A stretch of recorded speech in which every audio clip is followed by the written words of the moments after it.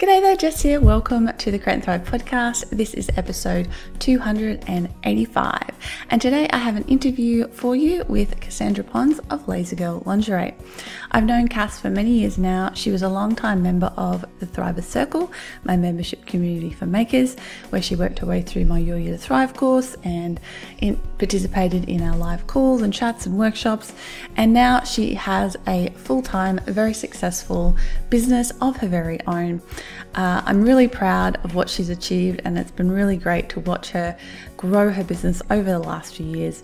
And she's done it really smartly. So I wanted her to come on the show and share her story and her journey with you today in the hope that you will pick up some useful tidbits of knowledge from what she's managed to achieve over the last few years.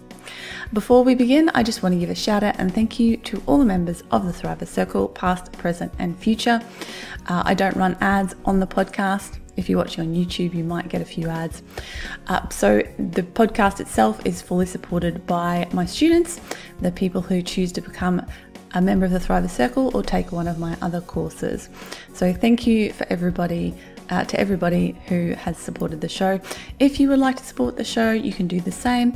You can also uh, leave me a rating or review over on Apple Podcasts, Spotify, or over on the and Thrive Facebook page.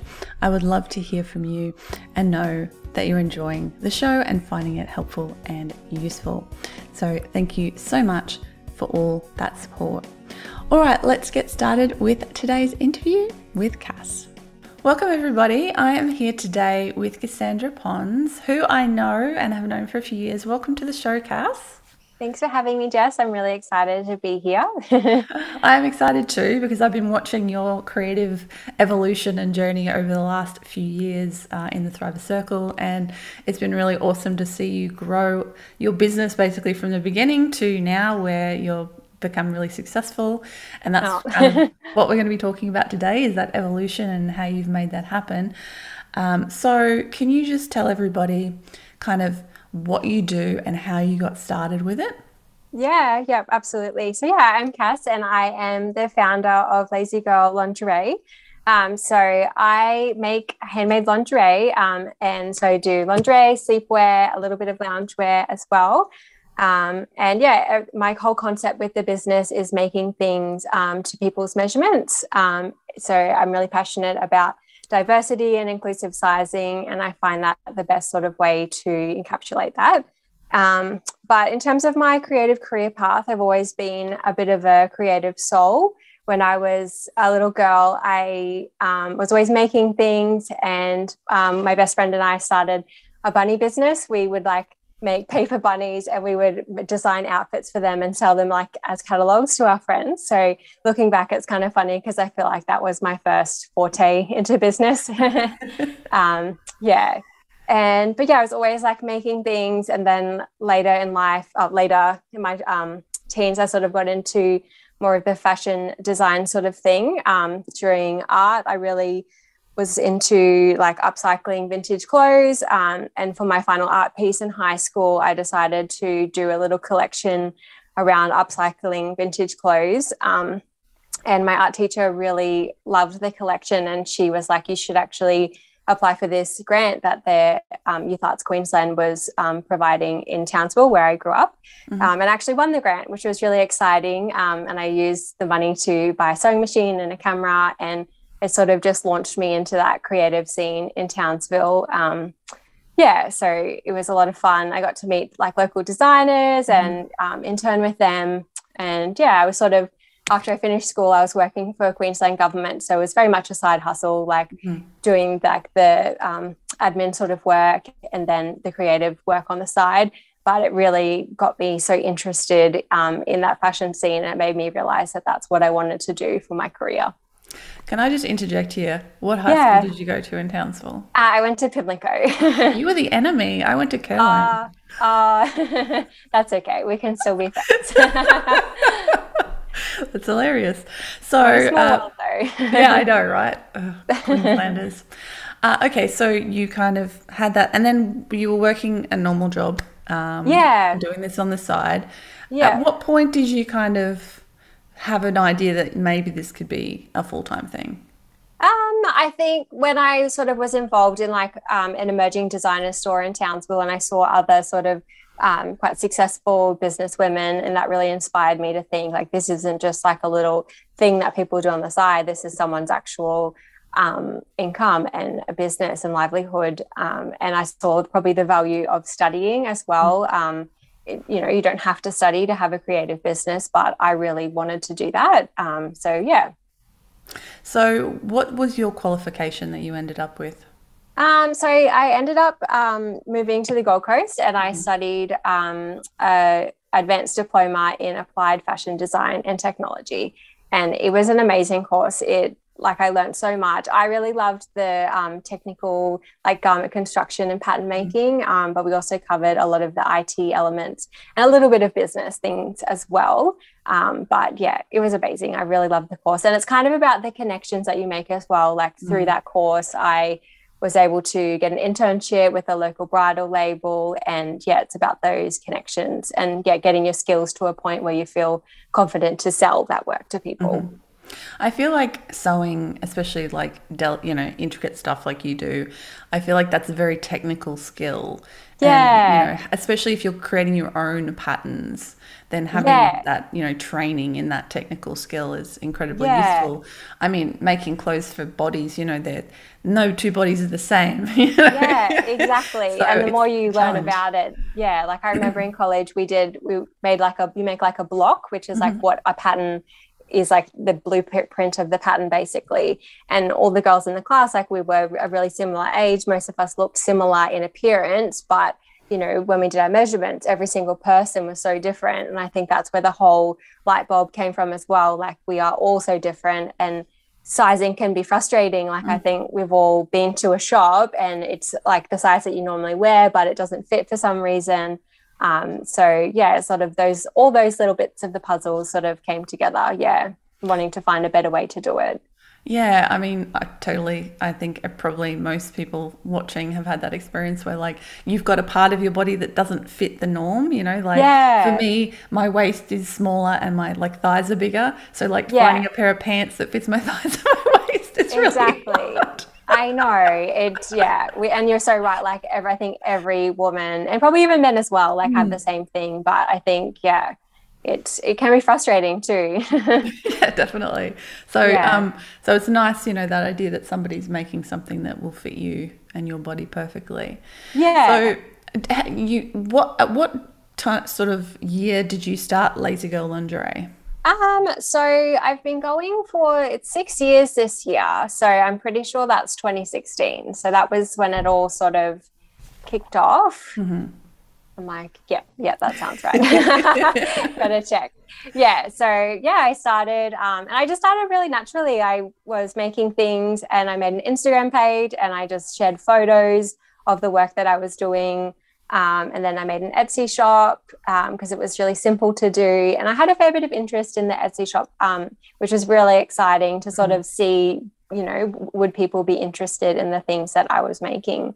Um, and yeah, then I, as I had time, I built the website. I tried out a couple of different platforms. Mm-hmm. Um, and now I'm with Shopify, which I love so much and yeah i guess my approach with the business has really just been yeah start with what i have do what i can and then improve as i go. And yeah i guess having always having that like um you know in the beginning i had a full-time income and then i mm-hmm. brought that down to a part-time income and having that was it almost helped me to relax and just be like you know i can do this at a slow and steady pace. I'm not trying to you know pay all my bills right now with this. Yeah. Yeah i think that's really smart and that's definitely mm. what I encourage people to do because I think people, perhaps if they haven't had a business, don't realize that it just does take a good whack of time to really get things up and running. And it's yeah. a lot less stressful if you have income coming from somewhere else so you don't have to rely on it. Um, exactly. I mean, some people might, you know, thrive under the challenge of I really yeah. have to make this work or I'm yeah, not going to eat. That but, might be someone's forte, but not yeah. mine. no, it's not mine either. That just stresses me out. So And I love that you do like advocate for people to do that. Like if everyone's situation is different, but not mm. to put that pressure on yourself. Like mm. it could be a lot of pressure for someone to start a business and think, oh, like this has got to be a six figure business right now. Mm-hmm. Like that's a lot of pressure to start with Yeah, and if you have the luxury, like someone who's starting a brick and mortar shop, they don't have the luxury of keeping a full time job. Yeah, running that yeah. most well, most of them because you've got to be there. So Yeah. for those of us who have online businesses, or you know, we do the markets on the weekend or whatever, yeah. we have the luxury of being able to do that, uh, and I think that can be a nice safety net. And you know, Exactly. I'm all about it being a marathon, not a sprint. So Yeah. Mm. if you're starting a business, you should be thinking long term. Exactly. Otherwise, yeah. what's the point? So thinking long term, you're like, well, I don't have to rush into, you know, try to do this full time straight away. I can just Yeah. let it evolve and develop naturally till perhaps it reaches that point. Yeah. That's it. Yeah. I And that sounds wholeheartedly agree. Yeah, yeah. yeah. So at what point did you make that leap to going, this is it, this is what I'm going to do full time? Yeah, um, it happened really gradually for me. So yeah, so when I started, I was working full time. Um, I worked for a really amazing bridal label, and they really inspired me so much to see like what is possible in a business. I'd never seen a business like that, um, and they were just really amazing women who I'm still friends with today. Um, and yeah, and then I sort of got to the point where I wanted to grow my business instead of growing someone else's. Um, so I transitioned to part time and then casual work. Mm-hmm. And I found for my circumstance that like hospitality was a good fit for me because my brain kind of works a lot better in the day. So I could wake up and do all my work on Lazy Girl and then at night go and do a couple of hours work. Um, and it was a bit of a hard slog. You know, you're quite, you know, it's a long day to sort of work all day in your business and then still be working at night. Um, but that was what worked for me. And then, yeah, it sort of has been for I maybe since like about July or August last year that I've been doing it completely full time. It just got to the point where I couldn't do it anymore. I had to just, yeah, I really needed the time to work on my business. And yeah, it's good. I really love it. So, uh, so we're recording this in February 2022. yeah. So that means that last year was 2021. Now, for those outside of Australia, you might not know that here in Queensland, where we both live in Australia, we haven't had many lockdowns over the last two years of COVID. Like life was mostly normal until kind of January, well, January this year, where we opened the borders again to everybody, and now we have COVID and we have to live with it. But before that, we had only very small lockdowns. So, like working in hospitality, you know, in other places in Australia and the world, that Yeah. wouldn't have been so much of an option for a lot of that period of time, I guess, for a lot of people. Yeah, that's it. And but even like even still, there were still lockdowns where like things were shut down, um, and it kind of made me realize like sometimes you can I don't know like think that a business income is risky or not stable, but in my experience, you know, in the past couple of years, like what has been my bulk of my livelihood is my business because even when you know hospitality did close down because of COVID, like I could always make my income through my business online. So it made me really appreciate that and see, um, you know, the potential for that. Yeah, and I know, you know, there's been a lot of people who started businesses in the last two years and have Yeah. done really well because of lockdowns and everybody having to shop online. And it's definitely, I think, it's made a bit of a cultural shift to online shopping, perhaps for people who weren't online shopping Yeah. beforehand. So there's definitely more options for people now and, and more more customers than ever before shopping online. Um, yeah. So do you sell just in Australia or do you sell internationally as well? Um, definitely internationally as well. So I think because I started on Etsy as a platform, um, it, I had international shipping from the beginning, and a lot of my customers have always been in the United States, um, which is very interesting. But I have found since COVID that it is a lot more Australian people that are shopping with me. So I find that quite interesting. Um, you know, maybe the word's just getting out a bit more, and also people wanting to support small local businesses, which is really lovely. Yeah, I've actually found that as well. I didn't know whether like I had to stop kind of free shipping to the US early in COVID. And Yeah, I've only just yeah. managed to do it again recently because Etsy's brought in the domestic and global shipping options, Yeah, which has been Such awesome. a good tool. Yeah. um, so, I, you know, that might have had an impact on my business and other people's businesses as well. Uh, but I love the idea, you know, people are kind of, you know, realizing, hey, we need to support those local businesses and, and, and really, it's been really nice to see that kind of resurgence of that over the last few years. So, with your, you said now you're, you're on Shopify. Are you still, do you still have your Etsy shop as well? Yeah, absolutely. Yeah, I love Etsy and I'm a big fan for using it if it works for you. But yeah, I sell on, I've got my website and I sell on Etsy.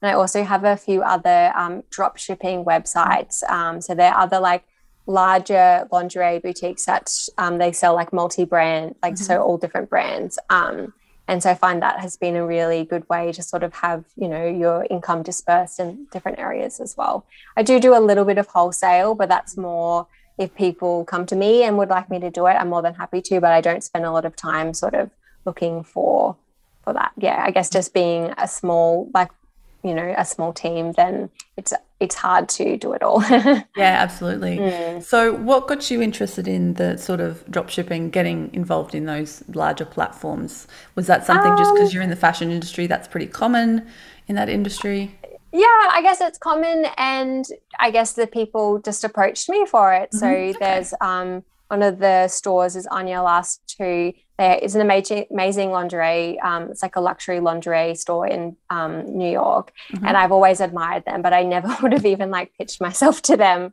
and then one day she messaged me on Etsy and was like, um, "I yeah, love your work. I have a little lingerie store. Would I be able to stock it?" And then she mentioned who it was, and I was just like fangirling, like, "Of course," trying to play it cool, but I was like, "This is the coolest thing ever."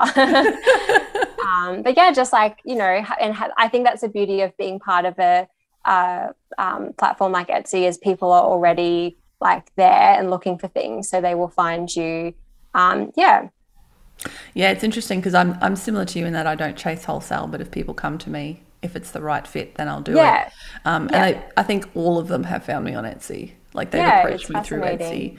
Yeah. Because um, I have a few, I've had a few American stockists and, in other countries as well. So, yeah, that's again the benefit of being on that sort of platform where people are looking for the thing. Yeah. Um, and, and you can view it as like a form of, of marketing as yes. well, you know, like, yeah, you're putting yourself out there where people are already going. So it's yeah. worthwhile. Exactly. Okay, speaking of marketing, let's talk about your marketing.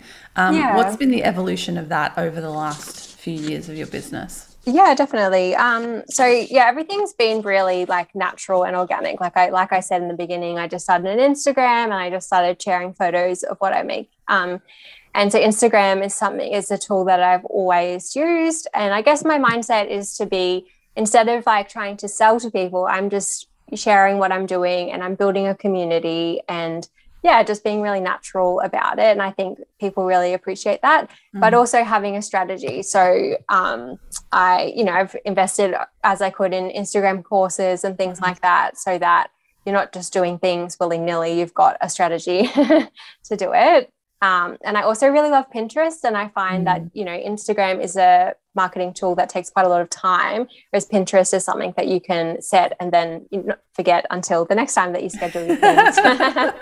um, so they complement each other really well. And mm. I guess um, being a fashion brand, you know, I sort of put a lot of time and effort and resources into getting um, beautiful images of my work. Mm. So you might as well be using them on visual platforms. Yeah, definitely. I think that's a big benefit that handmade and you know, craft businesses and, and design businesses like yours have is that you have lovely images. So, you know, of course, why wouldn't you use them and, and get them out there? And um, they, they do, you know, they'll a picture says a thousand words they really represent your work and and yeah think, you know you you do obviously because you have photo shoots for your launches yeah. and you know you get lots of different models and so yeah. you've got that diversity uh, of models in there which shows people the you know the possibilities i guess um, for them to wear your work as well. Yeah. And I think it's important for, like, I still have a long way to go with my brand for diversity, but for people to be able to see themselves mm. in representation, like, instead of, you know, only showing one, one showing one type of body in the media it's important to really try and show a different um, like all different shapes and sizes because people like to see that like we don't you know it's important to represent everyone Mm-hmm. Yeah, and you know, if people, I think people feel more comfortable with a brand when they do see that, um, especially if they don't fit the ideal body type. Um, yeah. You know, to to approach, you know, they, they see that in your marketing, they'll they'll be more comfortable to you know buy from you and approach you and, and speak to you about and especially if you know you're saying you do a lot of custom sizing for people like uh, yeah. is all of your stuff custom size or just that's an option people have Um, at the moment, yeah, it sort of evolved. When I 1st mm-hmm. started, it was just standard sizing, but because I was selling internationally, I was finding people would let me know their measurements anyway because they're like, "Oh, I hope I've ordered the right size. I live in America." Mm-hmm. Um, and also, people would message me and be like, "You know, I, I wear this size, but I have this issue. Like, you know, I'm really tall, so my bodysuits are too short." Um, so really, Story of my life. Yeah, I can't wear one piece togs. yes, yeah, short. very yeah. It's so common, and even like I'm the opposite. Like I'm really, I'm very short, so I have like a short torso, so they're too long. Like we're all so mm. different. So it really just evolved to be the best thing to do because, mm. um, yeah, people were really there was a cry cry for it, and you know if that's what your customers are crying out for, why would you not, you know, help them with that? Yeah, and being a small independent business, you know, you're making everything. Why wouldn't you? Because you have to make yeah. it custom anyway, right? Like you have yeah, to make exactly. every size. Like it's so all everyone. yeah, it's all made to order, so there's yeah. no reason why I wouldn't do it.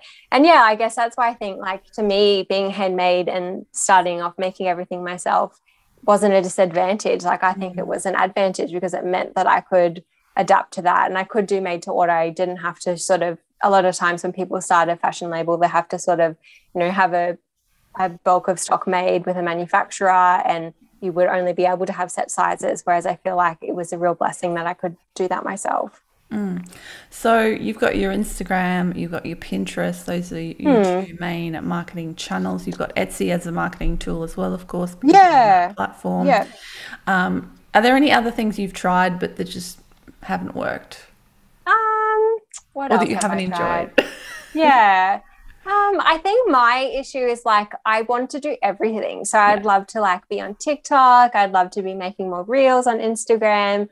Um, and I want to do all the things. And I guess that spreading yourself too thin is something that I can be very guilty of and thinking that like this is a shiny object and I want to do this new strategy, but it's like actually just get Instagram to a point where you're doing that so well and it's doing really well for you and trying to perfect the things that I'm already doing and then moving on to something else or yeah like getting help in the business so that I can free up time to do stuff like that. Mm-hmm. yeah. So again real I've been experimenting a bit with reels lately because it like I feel like on Instagram now that's all you see almost when you scroll through your feed. Yeah. Like half yeah. to two-thirds reels and it's like frustrating for those of us who usually just do posts. It's like, well, yeah. do I just have to evolve with the platform? you know? I think so. I know. And I guess I was really resistant. I am a little bit resistant to change, which is something yeah. I'm trying to work on. I'm a bit set in my ways. But I, when, like, you know, TikTok and even the Reels came out, I was just like, you know, it's amazing. But I was just like, how am I going to have time mm-hmm. to do mm-hmm. this? Like, and I had a bit of a, you know, a bit of a mindset issue about it. Whereas now, you know, I'm trying to think, you know, how can I work this into things that I already do? So I already, if I make like a custom order, I'll already take a photo of it and share it and just sort of making sure I video it in a way that could be on my story and it could also be a reel. And I'm not staging those things like I'm literally just doing it as I'm mm-hmm. making it. So it's not really any more effort. Um, but yeah, it, you know, a lot of us are small businesses, like it's a lot of makers do it all by themselves and it can feel like there's so many things to do and not enough time. So yeah. Yeah, that is the eternal struggle. yeah. and I and I think I think it's good for people, maybe not good, maybe it's terrifying, but for people to realize that never stops. Like it's not like you Yeah. I mean, it does get easier. Like I, I think after the first few years you've kind of learned a lot. You've got things established, you've got systems in place. Things do get easier, but nothing outside of you stays the same. So you have yeah. to be willing to evolve and change with what's going on, which can be frustrating, yeah. especially if you've like hit on something that's working really, really well, and then for some external reason suddenly it stops working really well, and you're like, why? Yeah. What you know what? what I'm gonna have happening? to fix this. Yeah, I know. And I guess yeah, for me, like the biggest journey has been like you know, yeah, you change is like the only constant, but just developing that confidence in myself and not having as much self doubt that I'm like, well, yeah, like I actually don't know what's going to change or what's going to come up in the future. But now, you know, I've overcome, you know, challenges and I've been able to, yeah, conquer it all. Yay. Okay. Yeah. So, uh, do you still just work by yourself or have you got people working with you now? Um, I for a long time it's just been me, and then recently I've hired some help in the business, which is so exciting. Um, and it feels like a big relief. Mm-hmm. I'm like, I wonder why I was so stressed. I was trying to do it all. yeah, yeah. Um, but it's hard to admit help, like as mm. well. Like I am the kind of person I want to do it all. Like I'm like, why would I not? But yeah, it's been it's and it's quite a big process to go through hiring someone. Like it's a huge time commitment. Um, so yeah, I kind of wish I started a little bit earlier, to be honest. If I knew how long, um, yeah, finding the right person, training them, all that kind of stuff. But it's just one of those things that you learn from. Mm-hmm. yeah, yeah, So I have a helper. Um, she's helping me in mostly in making orders at the moment. Um, mm-hmm. But it would be nice to sort of progress her to also help with like, you know, packing and sending orders as well. That would be awesome. Um, in the beginning, I thought maybe I would outsource my marketing instead, and then I would do all the making but I then I realized that I actually loved doing the marketing.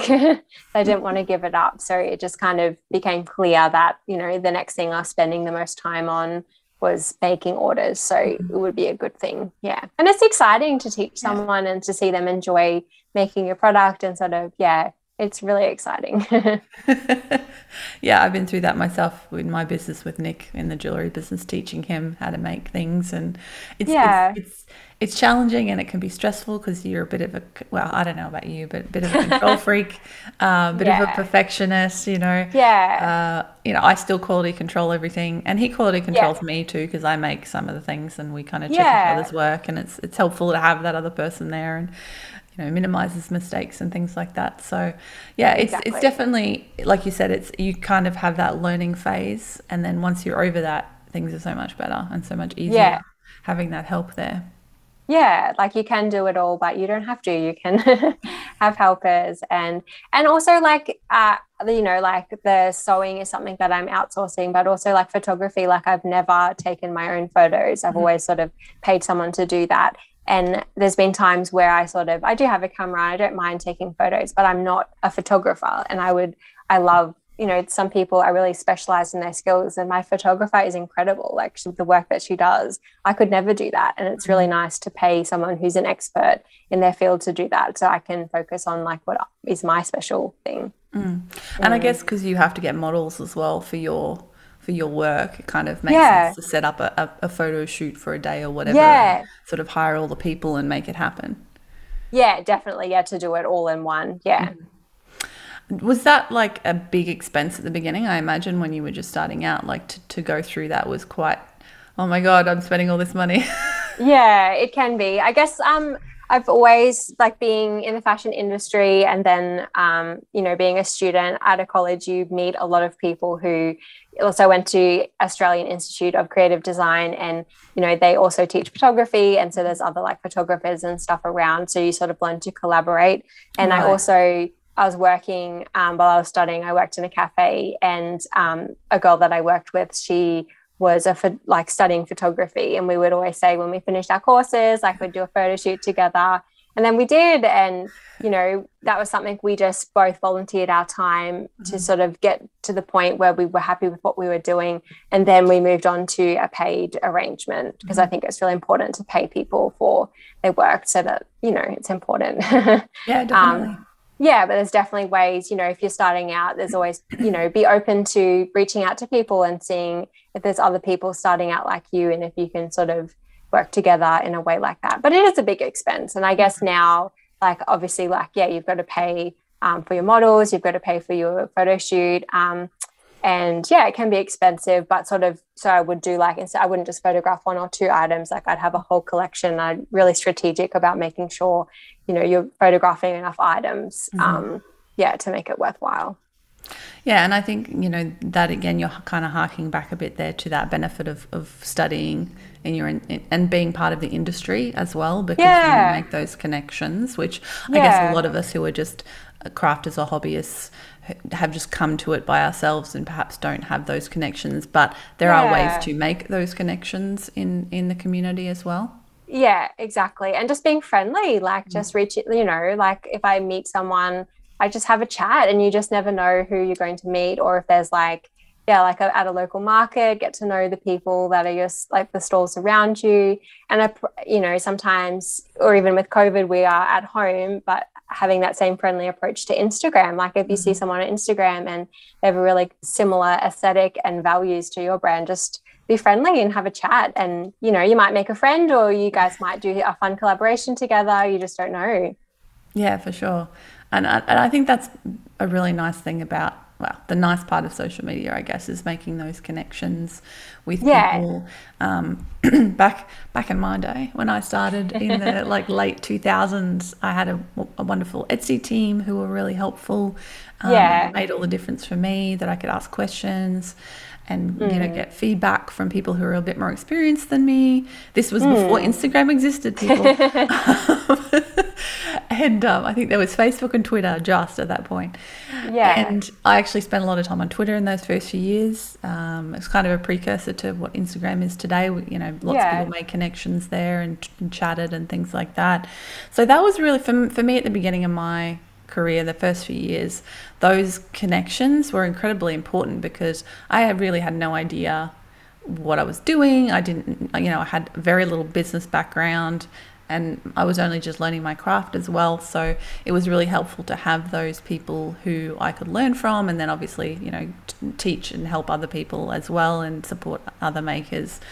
Um, which is what I ended up doing, but yeah, it's it's it's really nice, and I actually got involved in some, you know, real ooh, there goes my keyboard in some real life stuff as well like there's a yeah. there's a um, organization in brisbane called BrisStyle which yeah. started out as a um, etsy team and has turned into so a cool. something that is still going now and i was like the vice president of that for a while so i was involved in that for quite yeah. a few years and so it was nice to make those connections and feel like you were part of something, part of a community. Yeah. It helps it, keep you motivated, I think. It does. And I guess that's something I didn't realize. Um, you know, I was so hell bent on like doing like lazy girl full time and then i got to that point and i'm like oh i feel really isolated mm. where are all the people because um, i'm quite I don't think I'm an extrovert. I think mm-hmm. I'm like an introvert that likes people around. mm-hmm. um, so yeah, it can be a little bit isolating. And I guess when you're in a work environment, you're all working towards like the common goal of that business. And when it's your own business, you know, you're the person that's moving everything forward. Um, and yeah, it can be a little bit isolating. And like you say, being part of like yeah, Etsy teams or any sort of creative co-op in your local area, or if you can't find that, like doing it online, like in a membership community or something like that, mm-hmm. is really helpful to yeah have that support system and people that just get it. Like they get if you have something happen in your business, you know, my partner's so supportive and my friends are really lovely and my mom's my biggest supporter but you know they don't have a handmade business so they're just like sometimes they just can't relate. And mm-hmm. so yeah to have people that get it and yeah just so you don't feel alone. Yeah it's very helpful. I mean that's mm. that's why i started the thriver circle really originally because i'm like you know people need community and and and, and support. So finding yeah. something like that is really useful as well. It is. Highly recommend. You were in there for a while. Yeah that was great i loved um, it so let's have a think. What have we got? Um, i haven't asked you yet what's been like your biggest challenges over this journey. Like it's from from what you've been saying it's actually it sounded really really great. Like it you know it's just it's all happened. It's all evolved naturally. It's all been fantastic. It's i'm all sure been sunshine been, and rainbows yeah, yeah yeah. yeah i'm sure there have been some challenges along the way there definitely have been. Um, I think, yeah, like the one constant is probably change and challenges mm.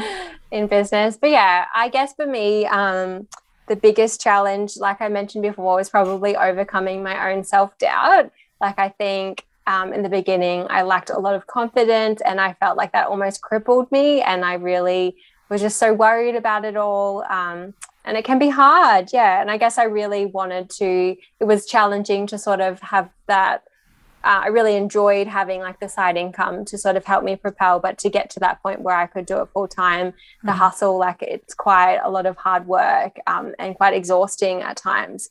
Um, but just pushing through and really, yeah, having that belief in yourself. Like I think as a small business owner, you need to believe in yourself fiercely and be, you know, like I mentioned, I have an amazing support system, which I really appreciate, but you also have to be your own best supporter mm-hmm. um, and really becoming that person for yourself is what has sort of helped me to yeah keep going and once you sort of sorry. No, no, go ahead. um, like you, like you say, just like to build your courage muscle. Like if you just start, you know, like you might have your first sale, and then that is like the momentum that keeps propelling you.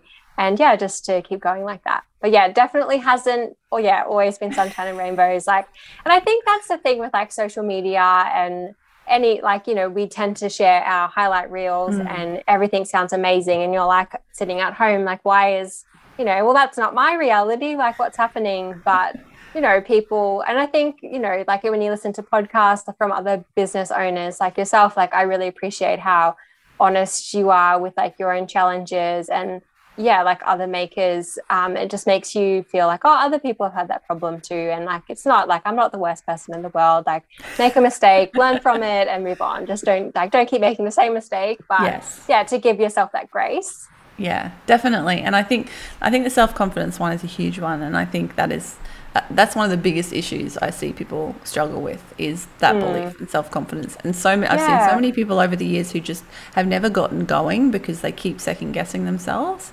Yeah, they're, they're, trying to make everything perfect before they start. Don't yeah. do that. You can't. You yeah. cannot make everything perfect before you start. Just uh, let it evolve, develop it as you go, but start the thing because if you don't that. start the thing, you can never start that that process of evolving and developing.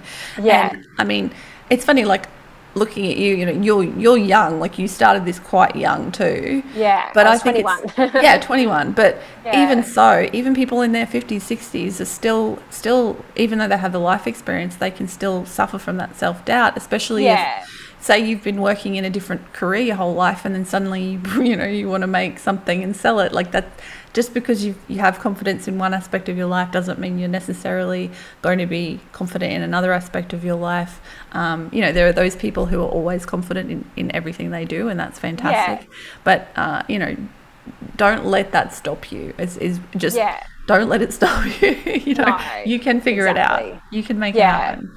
I agree. And like yeah, having just starting, I really agree with that as well. Like, I didn't, looking back, I'm like, what did I know? I knew nothing. I was a child. but maybe like that was helpful. Like, mm. I don't, mm. now I think now I'm so, yeah, anxious about everything. I'm like, oh, it was probably helpful because I was young and carefree. I just was like, oh, well, I'll give it a go. And yeah. yeah. Hmm. Yeah, and I love that idea that you know people are like, "Oh, it's too late" or whatever, and I saw a thing on Instagram and it was like, well, you know, if you don't want to like do a four year degree or something, like say you want to study in four years' time, it'll still be four years later and you would have either done it or not, you know, like Yeah. what exactly. else what have you got to lose, I guess? Yeah, is, is the, the, time question. will pass anyway. Yeah, yeah, the time will pass anyway. So why, mm. why not give it a try? And if it doesn't yeah. work out, it doesn't work out. And that's okay. Like I've tried so many things that haven't worked out, but I've learned yeah. from them and that's what life's all about really exactly. And like not um, i guess another challenge. I you know i'm so passionate about what i do and i've really been like striving for this for most of my young life. So i feel like a lot of my identity and self-worth is tied up in the work that i do mm-hmm. which it's hard not to. Like i yeah. make i make everything and i you know i'm so passionate about this but i've had to really you know change my mindset about that. Like you know i'm really excited about what i do. I love it so much but not to get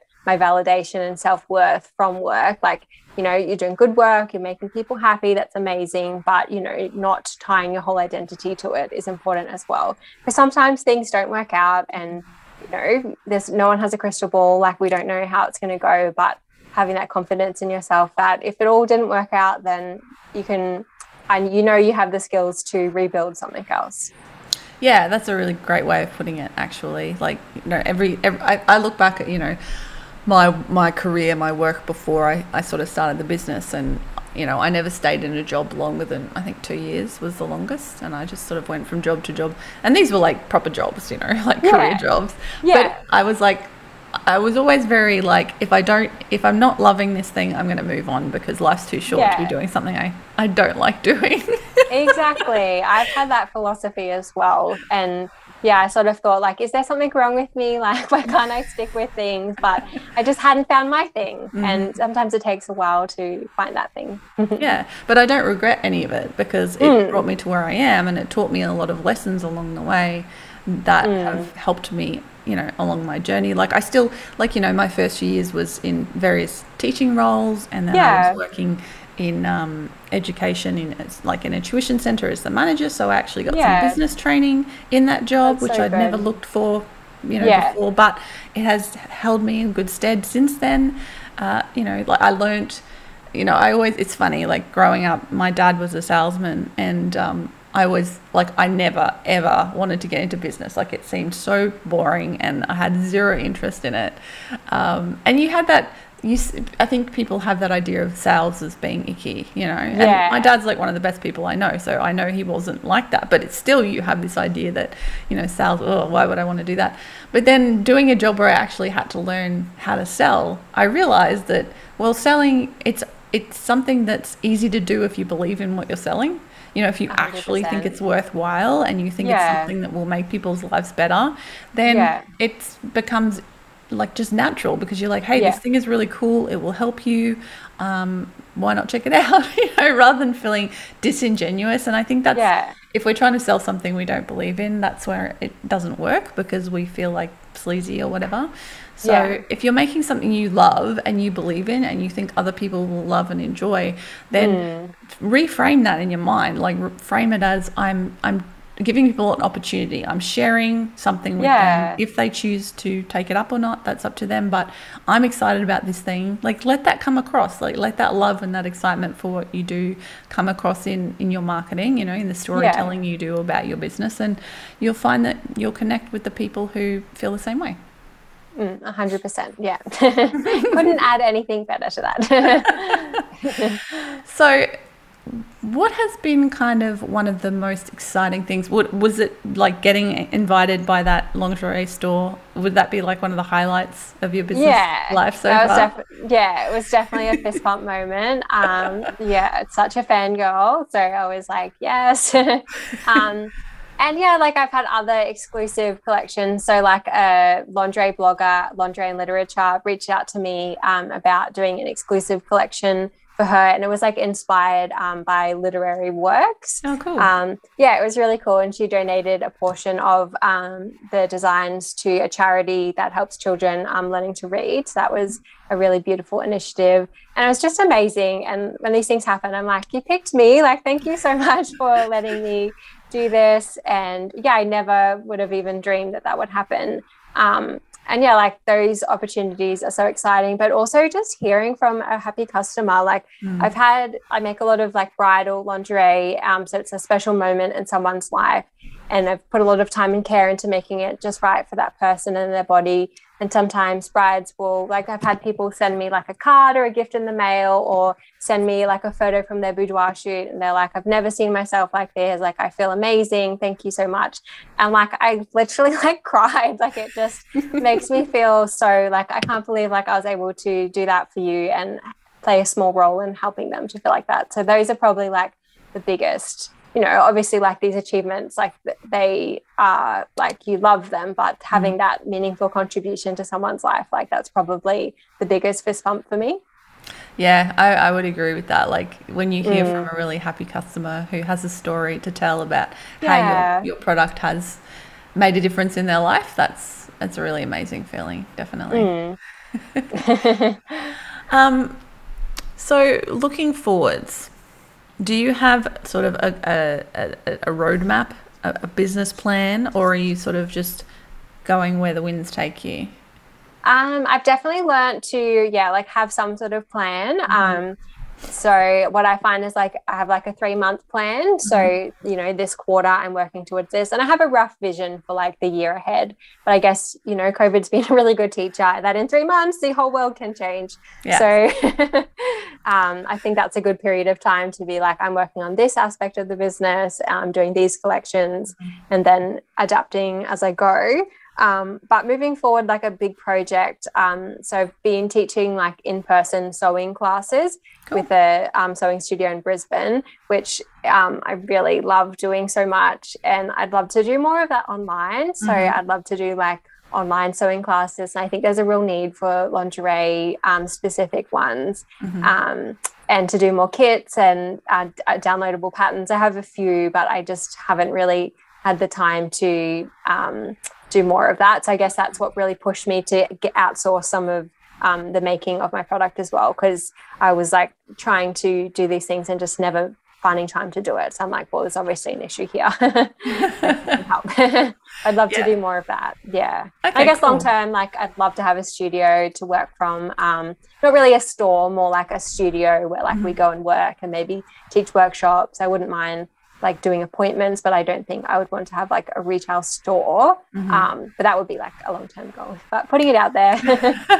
well, I, I mean, for your business, I think I love the idea of like you know a, a by appointment boutique because you could make yeah. it an experience especially for brides like that sounds exactly. like the sort of thing yeah. that people would love to do like with their mm. you know mm. with their bride bridesmaids or whatever you know come yeah. along and have some champagne and cake and get your measurements and pick your designs and all that sort of exactly. stuff like they do at bridal shops i guess like the high-end bridal shops yeah i'd love to do something like that so yeah see how we go all the possibilities are out there that's exciting and mm-hmm. yeah, I, I think what you said about, you know, COVID being a good teacher is we can have all these concrete plans in place, but sometimes things go out the window and we just have to evolve and, and adapt and, and figure out how to make it happen.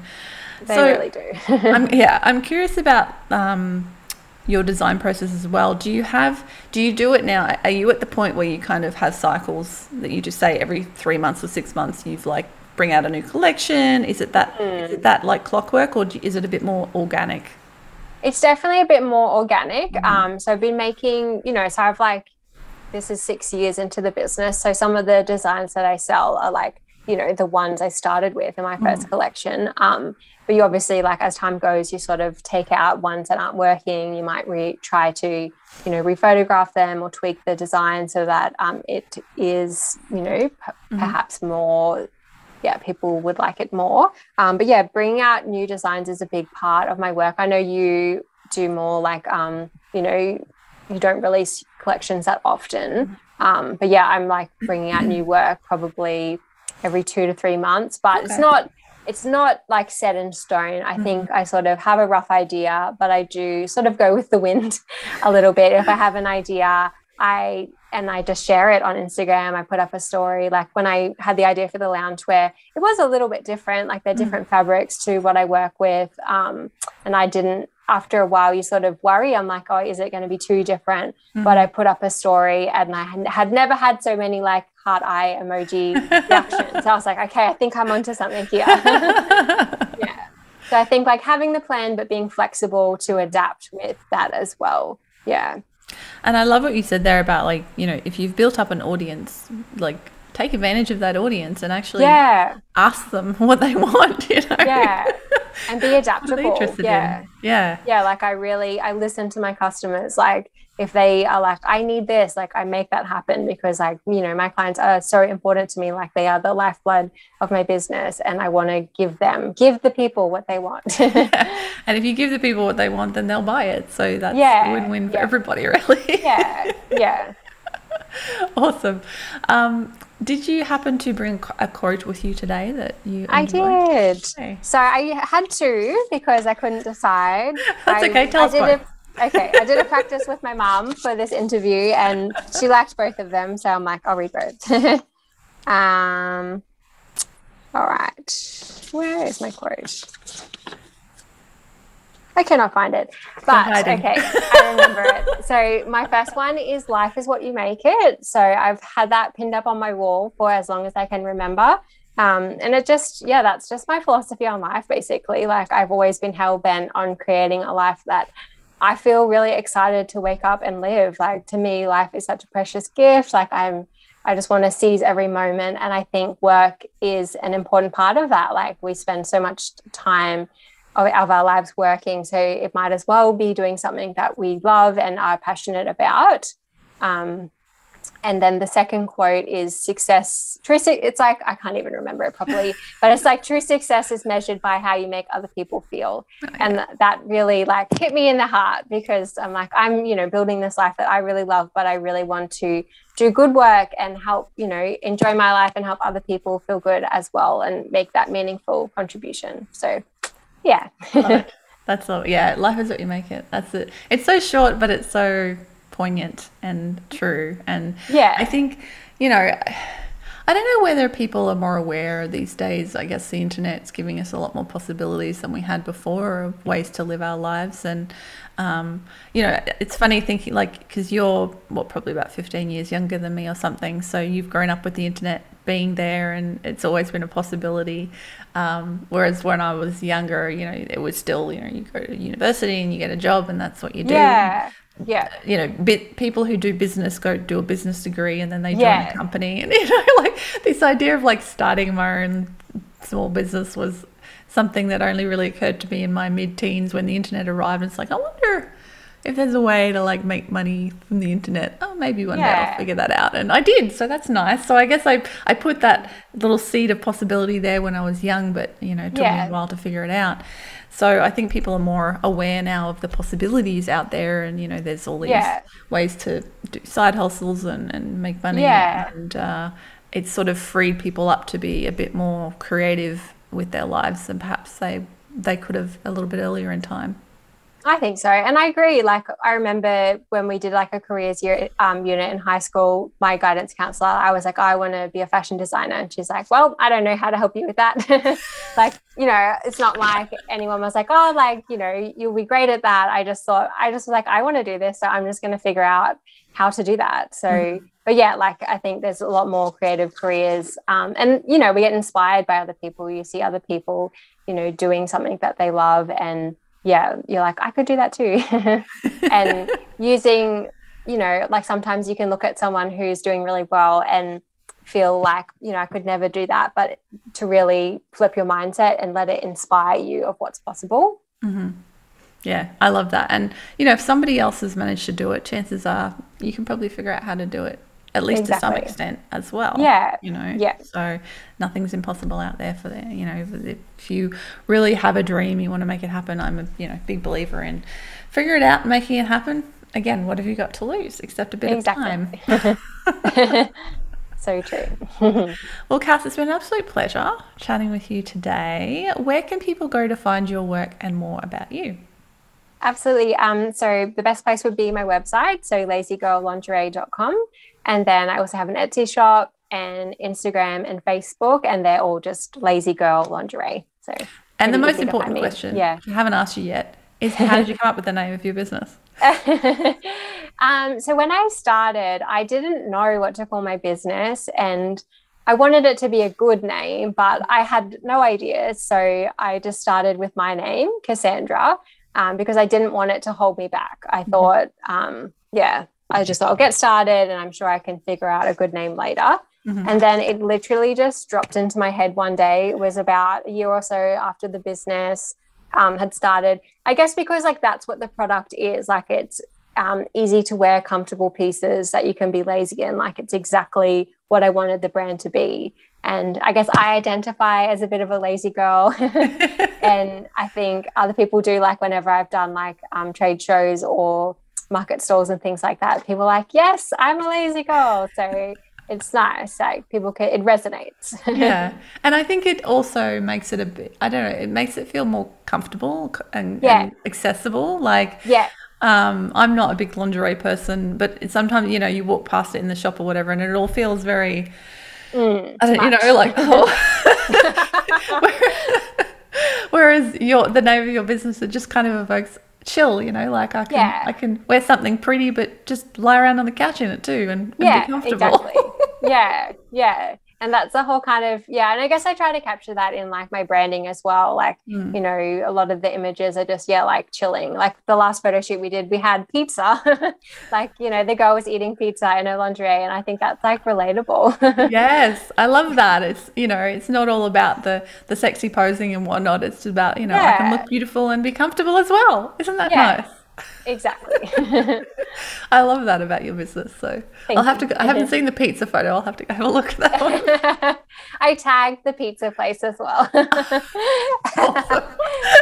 uh, love just it. for love funny. It. Yeah, no, that's great. Thank you so much, Cass. It's been a pleasure to watch your business evolve over the last few years, and I'm so proud of what you managed to accomplish. So well done. Thank you so much, Jess. And I'm so grateful for you for having me and also for all your help through the Thriver Circle community. Um, I really, yeah, like joined at the beginning and I credit like a lot of my success and work to the help that you have given me um, in terms of like the business aspect. And I really appreciate it so much. well, you are like, see, this is, you know, about making your customers happy, making you, helping your students to create the life they want to live. This is like the best thing a teacher can ever have is seeing their students become successful and, and do what they want to do. So, yeah, it's awesome. Well done. And you're just going to get wow. even better over time. thank you. That's very kind of you to say. All right. Well, thank you for being on the show. And I will no doubt see you on the Instagrams. Okay. Sounds good. Alrighty. See you later. Bye. I hope you enjoyed today's episode. I would love to know your biggest takeaway from today. If you're watching on YouTube, let me know in the comments below. And if you're listening to the show, please reach out on Instagram. I'm at Create and Thrive. Send me a message and let me know the number one thing that's kind of stuck with you from today's interview. I always love to hear from podcast listeners. Thank you so much for being with me here today. And I'll be back again soon with another episode of the podcast. Make sure you don't miss it by subscribing. If you're on YouTube, hit that subscribe button. And if you're listening to the show, you can subscribe to the Create and Thrive podcast as well. And uh, that way you won't miss any future episodes. I'll catch you in the next episode. Bye for now.